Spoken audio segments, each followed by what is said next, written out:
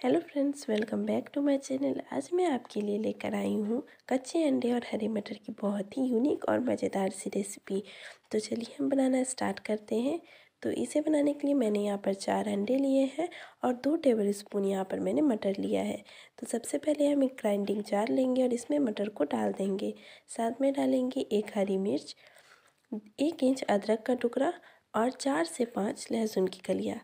आप चाहे तो यहाँ पर मिर्ची ज़्यादा भी डाल सकते हैं। साथ में डाल देंगे हम एक टेबल स्पून पानी और इसका हमें फ़ाइन पेस्ट बनाना है। तो यहाँ पर मैंने फ़ाइन पेस्ट बना लिया है और ये देखिए बिल्कुल स्मूथ है। तो अब हम एक बॉल लेंगे और इसमें अंडों को फोड़ कर डाल देंगे। तो अंडे की क्वांटिटी यहाँ पर आप अपने अनुसार कम या ज़्यादा कर सकते हैं। तो यहाँ पर मैंने अंडों को फोड़ कर डाल दिया और अब ये मटर का पेस्ट हम इसमें डाल देंगे। साथ में डालेंगे स्वाद अनुसार नमक। और इसे हमें अच्छे से मिक्स कर लेना है। तो यहाँ पर मैंने अंडे और मटर को अच्छे से मिक्स कर लिया है और अब हम एक पैन लेंगे और इसमें डाल देंगे एक टेबल स्पून ऑयल ऑयल को हमें अच्छे से गर्म कर लेना है और इसमें से आधा बैटर हमें इसमें डाल देना है। पूरा बैटर एक बार में नहीं डालेंगे। उसके बाद हम इसे अच्छे से एक साइड से कुक होने देना है।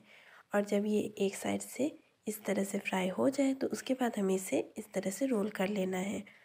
तो ऊपर का जो गीला वाला पार्ट है वो खुद ही आगे बढ़ जाएगा।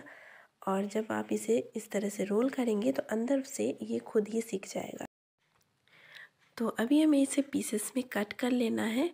आप चाहे तो छोटे बड़े पीसेस कर सकते हैं। तो मैंने यहाँ पर इसे इस तरह से कट कर लिया है और एक मिनट के लिए हमें इसे और सेक लेना है दोनों साइड से ताकि अच्छे से फ्राई हो जाए।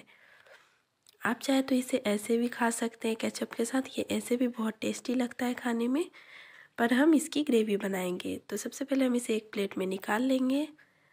और अब हमने जिस मिक्सर में मटर का पेस्ट बना है तो उसी में हम दो टमाटर डालेंगे और इसका भी पेस्ट बना लेंगे।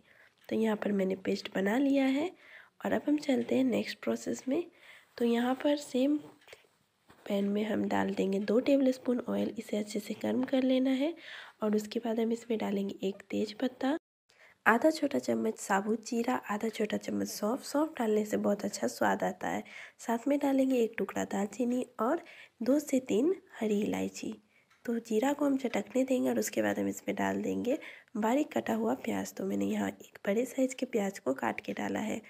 तो प्याज का कलर यहाँ पर चेंज हो गया है और अब हम इसमें डाल देंगे वन टीस्पून अदरक लहसुन का पेस्ट।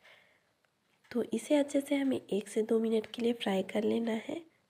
अदरक लहसुन का पेस्ट डालने से इसमें बहुत अच्छा टेस्ट आता है। साथ में हम इसमें डाल देंगे हाफ़ टी स्पून हल्दी पाउडर, एक टीस्पून जीरा पाउडर, एक टीस्पून कश्मीरी लाल मिर्च पाउडर और एक टीस्पून धनिया पाउडर। तो इन सारे मसालों को हमें कुछ सेकंड के लिए भून लेना है। क्योंकि ये ड्राई मसाले हैं तो ज़्यादा देर तक इसे फ्राई नहीं करना है। उसके बाद हम टमाटर का पेस्ट इसमें डाल देंगे और इसे हमें ऑयल रिलीज़ होने तक फ्राई करना है। तो ये देखिए मसालों में से ऑयल रिलीज़ होने लगा है तो अब हम इसमें पानी डालेंगे। तो उसी मिक्सिंग जार का पानी हम इसमें डालना है, ताकि मिक्सी में लगा हुआ जो पेस्ट है वो वेस्ट ना हो। तो अब हम इसमें डाल देंगे स्वाद अनुसार नमक और इसे हमें अच्छे से बॉईल करना है। तो ढक्कन लगा देंगे और इसमें अच्छे से उबाल आने देंगे। तो ये देखिए इसमें उबाल आ गया है। तो अब हम इसका ढक्कन हटा देंगे और इसमें डाल देंगे हाफ़ टी स्पून गरम मसाला। गरम मसाला डालने से बहुत अच्छा स्वाद आता है और गरम मसाला को एंड में ही ऐड करना है। तो इसे अच्छे से मिक्स कर लेंगे और अब हम इसमें ये पीसेस डाल देंगे। तो यहाँ पर आपको फ्लेम को लो रखना है और इसे डालने के बाद बहुत ज़्यादा देर तक इसे कुक नहीं करना है, नहीं तो ये गल जाएगा। तो इसे हल्के हाथों से हमें इस तरह से मिक्स करना है। बहुत ज़्यादा इसे दबाना नहीं है, नहीं तो ये टूटने लगेगा। तो इसे मैंने अच्छे से मिक्स कर दिया है और अब हम इसके ऊपर डालेंगे फ्रेश हरी धनिया की पत्ती। और उसके बाद हम इसे ढककर आधे मिनट के लिए कुक करना है। बहुत ज़्यादा देर तक इसे कुक नहीं करना है। अगर आप इसे बहुत ज़्यादा देर तक कुक करेंगे तो ये ओवर कुक होने के बाद टूटने लगेगा। तो अब ये हमारी सब्ज़ी बन के बिल्कुल रेडी हो गई है। तो अब हम इसे सर्व कर लेते हैं।